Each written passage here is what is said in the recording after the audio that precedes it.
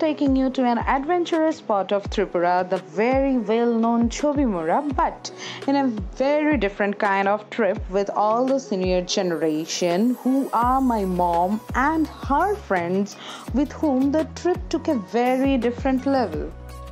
So Chabimura is located 82 kilometers away from Agartala. From Udaipur it is around 30 kilometers and from Amarpur it is around 7.5 kilometers.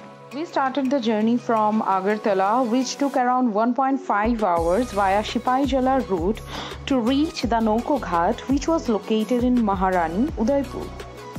If you want to take a tour of the entire Chabimura, then I will advise you that you must go through the waterway and must seek assistance of the local boats or the government tourist boats which are easily available.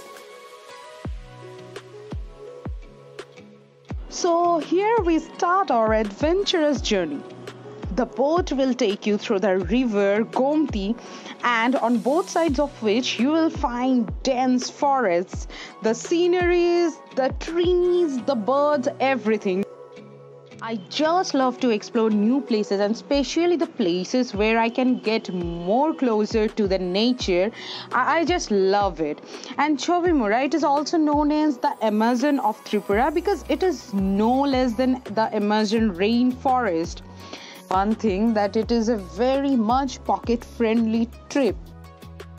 Chabimura is actually famous for its panels of rock caving which was done long back on 15th to 16th century on steep mountain wall on the bank of river Gomti.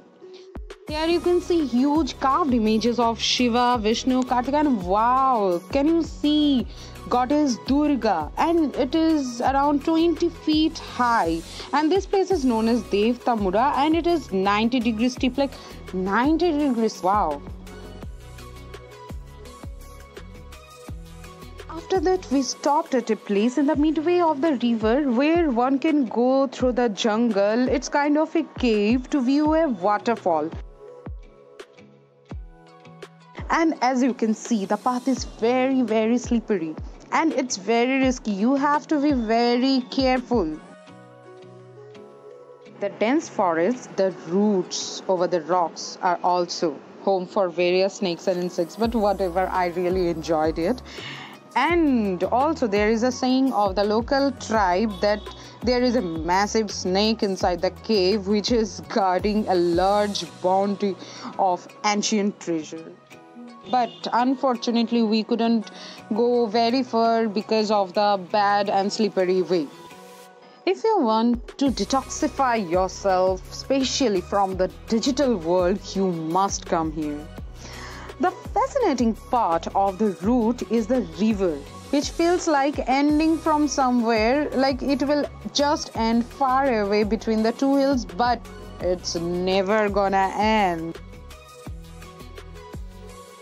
so ultimately, we reached our guest house at Chabimura, and this is a really nice place to stay to take rest, but it should be pre booked. And also, there aren't arrangements of fooding.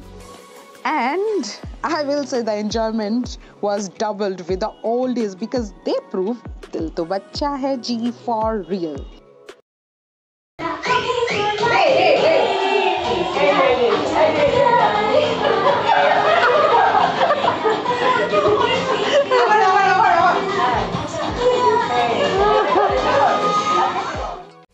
Left the guest house and started our return journey. And while returning, we came across local villagers who were fishing in their local boats. And can you see such a big fish? So I literally enjoyed the trip a lot and being the only child in the group with so many uncle and aunts, it was just too much of fun. The trip came to an end with the evening sunset, which was really serene. And it was indeed an awesome trip I ever had in my life. Thanks, Mom. I owe you.